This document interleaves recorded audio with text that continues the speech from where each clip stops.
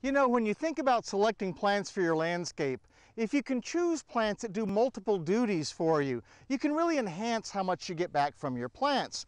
Now this plant is a wonderful example of that. This is called porter weed. It's also called Stachytarpheta, that's its Latin name. Porter's weed is a really great plant for summer color.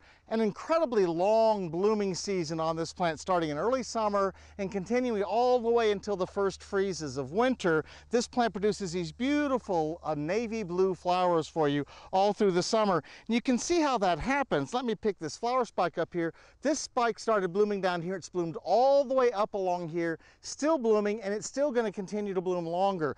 Very few plants make such long flower spikes, and that gives this plant a long blooming season. So a great long blooming summer plant. What's the added benefit?